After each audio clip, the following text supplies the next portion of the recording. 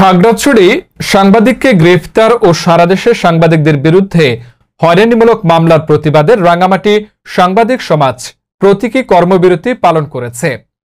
আঠাশ অক্টোবর সোমবার সকালে জেলা শহরের প্রাণকেন্দ্র বনরূপা সিএনজি স্টেশনে রাঙ্গামাটিতে কর্মরত সাংবাদিকরা ঘণ্টাব্যাপী কর্মবিরতি পালন করেন। বিস্তারিত রাঙ্গামাটি জেলা প্রতিনিধি এস এম জাহাঙ্গীরের প্রতিবেদনে। খাগড়াছড়ির সাংবাদিক ইউনিয়নের সভাপতি ও দৈনিক সমকালের জেলা প্রতিনিধি প্রদীপ চৌধুরী সহ দেশব্যাপী সাংবাদিকদের বিরুদ্ধে মিথ্যা ও হয়রানিমূলক মামলার প্রতিবাদ এবং আটকদের মুক্তির দাবিতে এই প্রতীকী কর্মবিরতি পালন করছেন রাঙ্গামাটির সাংবাদিকরা।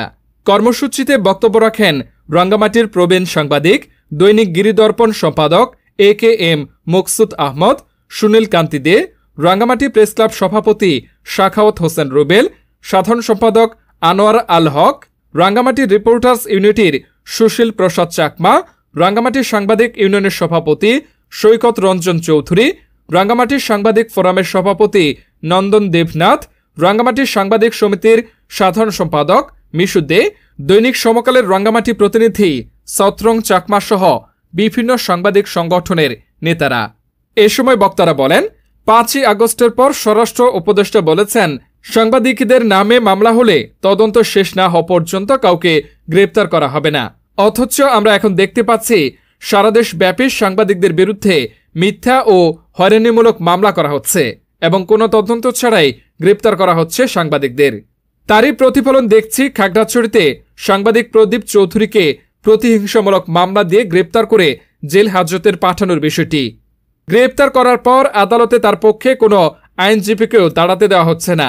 এভাবে যদি খাগড়াছড়ির সাংবাদিক প্রদীপ চৌধুরী সহ সারা দেশের সাংবাদিকদের বিরুদ্ধে মামলা দিয়ে আটক করে জেল হাজতে প্রেরণ করা হয়, তাহলে স্বাধীন সাংবাদিকতা অচিরে বিলুপ্ত হবে। এ সময় বক্তারা আরও বলেন, সাংবাদিক প্রদীপ চৌধুরীর বিরুদ্ধে গত পাঁচ আগস্টের পর পাঁচটি মামলা দায়ের করা হয়েছে, যা মিথ্যা ও নির্যাতনমূলক। তার বিরুদ্ধে অগ্নিসংযোগ হামলার মামলা দেয়া হয়েছে, যা উদ্দেশ্যমূলক। তিনি কলম দিয়ে লেখালেখি করেন, কোনো হামলা অগ্নিসংযোগে জড়িত নন।